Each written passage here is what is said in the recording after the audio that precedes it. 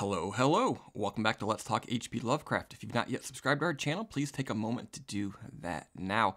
So, here on Let's Talk Ray Bradbury, over the last several years, I have been reviewing the short fiction of author H.P. Lovecraft. More recently, been working on re reviewing collaborations that he did. Today's story was a collaboration with Duane W. Rimel. It was written in 1934, published not until 1940 um, in Polaris, and it is called The Tree on the Hill. Up front, just to tell you, it's another stinker. Um, doesn't mean you shouldn't continue watching my video, uh, but just be forewarned, not one of his greatest stories. There, you've heard it. All right, so the way that these reviews work is that I do a brief synopsis of what happens in the story, and then I wrap up with my sort of thoughts and things about what it all means, why it's a stinker in this case, and then hopefully uh, help you to uh, enjoy enjoy the story a little bit more. All right, um, the narrator is staying with a friend in the town of Hampden in the Pacific Northwest. He goes for a walk in the woods to a place called Hell's Acres, where on an otherwise barren hilltop he finds a tree that seems very much out of place. He takes a bunch of photographs of the tree and then he falls asleep under it.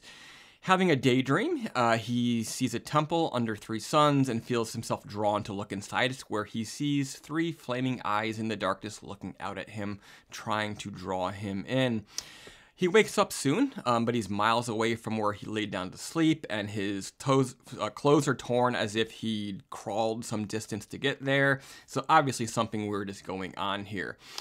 He returns home to his friend uh, Theunis, who is, uh, by chance, researching ancient Egyptian mythology.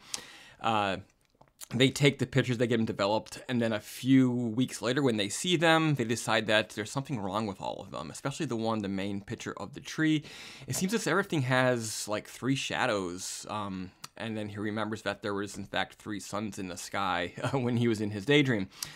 Uh, Theunis then tells him a legend about a malevolent alien force repelled by an Egyptian priest in the year of the Black Goat.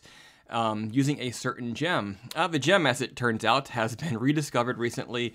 Uh, Theunis acquires it using his credentials as a scholar and uses it on the pictures. Uh, while examining the pictures with it, um, a Caesar strikes him and he suddenly falls down, not dead, but unconscious. Uh, when he wakes up in the hospital, uh, the narrator goes to visit him. Uh, Theunis uh, instructs the narr- narrator to destroy the pictures and to lock the gem away again in case it's needed one day um, when the year of the goat, black goat comes around again. But don't worry because I've I've banished this uh, being, this malevolent creature, just like the Egyptian priests of old once did. The narrator follows the directions, uh, but uh, in in the process of destroying the pictures and locking away the gem, he finds a sketch that Theunis made laying on the desk, and it seems to depict, in the place of the tree, a big, weird claw reaching out um, towards the ground ahead of it in a spot that appears as if someone had recently just laid down there, perhaps him. All right, so um, yeah, not one of the great ones, and it has nothing to do with the the content or the nature of the story. Uh, it, it's a great setup, um, cool location, cool tree, um, the experience of being whisked away in a dream to this weird place, all intriguing stuff. Also, this idea of sort of unseen beings and dimensions being very much in our place, but um, somehow out of phase where we can't see them except for perhaps in dreams and in special places like the hill where the tree resides. But the story quickly goes off the rails. Um, it relies way too much on coincidence. Um, remarkably, uh, Theunis has all this knowledge about um, this obscure Egyptian myth, and he has the ability to get a hold of this gem, which has only recently been found, and also happens to be the year of the black goat, and and all this is way, way one too many or way too many coincidences rather um, for any of it to work in a story of this length. Um, perhaps in a longer story, you might get away with it because you take the time to sort of better justify uh, these coincidences, but not here. Just none of it really works after that initial opening section of the story where he goes out, has this experience, and comes home and tells it to Theunis. Um, so um, the end result is it's a pretty lackluster story. Um, and then to sort of add insult to injury, um, it ends with that sort of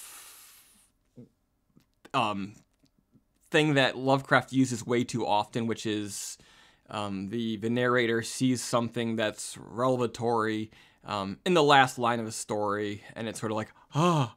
and then it ends. Um, he just uses that way too many times. Uh, we saw it a couple weeks ago with the um, uh, was it the horror in the museum, um, with you know seeing the the scene of uh, this deity, this god on the on the eyes of the uh, mummified um, priest. You know, it's it just uses it over and over again, and this this is why some of these stories are not counted among Lovecraft's best. So, um, you know, it's a half hour read. I suggest read everything once. Um, you know, don't take my word for it.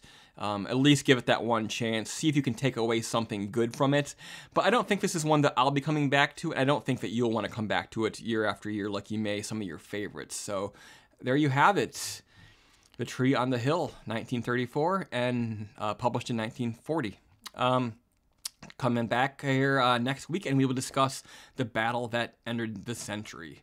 Until next time, keep it creepy.